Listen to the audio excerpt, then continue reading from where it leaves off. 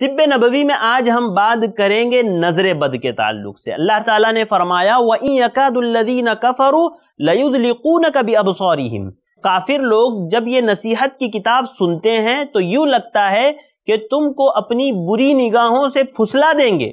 और इसी तरह अल्लाह के नबी सल्लल्लाहु अलैहि वसल्लम ने भी फरमाया ना कि अलाइन हक़ुन नज़र बद ये हक है।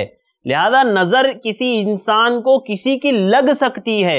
इमाम नसई रहमहुल्ला ने अपनी किताब में जो हदीस नकल की है, हज़रत आमिर बिन रबिया और हज़रत सहल बिन हुनैफ रज़ी अल्लाह के बारे में कि हज़रत सहल बिन हुनैफ रज़ी अल्लाह गसल कर रहे थे, वहाँ से हज़रत आमिर बिन रबिया का गुजर हुआ। उन्होंने हज़रत सहल बिन हुनैफ रज़ी अल्लाह को देख करके कहा कि मैंने आज तक किसी कंवारी दोशीजा की भी इस तरह की जिल्द नहीं देखी।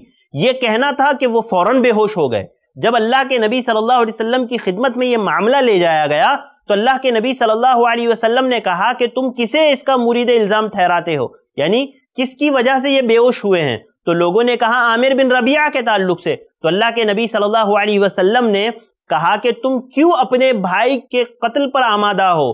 तुम्हें चाहिए कि जब तुम अपने भाई की कोई अच्छी चीज़ देखो तो उसके लिए बरकत की दुआ करो। और फिर आपने हज़रत आमिर बिन रबिया को हुक्म दिया कि वो वज़ू करें। तो उन्होंने अपना चेहरा धोया, अपने दोनों हाथों को कोहनियों समेत धोया और अपने घुटनों के हिस्सों को धोया और इसी तरह तहबंद की जगह को धोया और धो करके फिर अल्लाह के नबी सल्लल्लाहु अलैहि वसल्लम ने कहा कि ये पानी हज़रत सहल बिन हनैफ रज़ी अल्लाह तु पर उंडेल दिया जाए।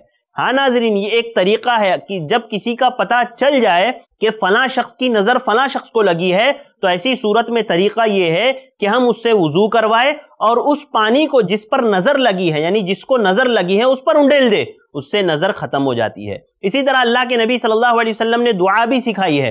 हज़रत हसन और हुसैन रज़ी अल्लाह तु को अल्लाह के नबी सल्लल्लाहु अलैहि वसल्लम दुआ पढ़ करके दम करते थे उईदुकुमा शैतानी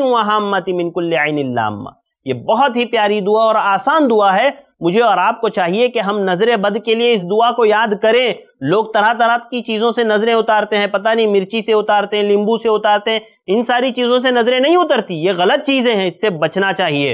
लिहाजा नाजरीन, ये बात जहन में रखिए कि नज़र उतारने के लिए इस दुआ को हमें याद रखना चाहिए। अल्लाह ताला से दुआ है कि अल्लाह ताला मुझे और आपको कहीं सुनी बातों पर अमल करने की तोफ़ी अदा फरमाएँ। आमीन। अस्सलाम वालेकुम वरहमतुल्लाहि वबरकातुहू। दीन की बात आम करने में आई प्लस टीवी की मदद करें। पेटीएम या गूगल पे के लिए हमारे नंबर्स पर ट्रांसफ़र करें। ऐसे ही और वीडियोस बनाने में हमारी मदद करें।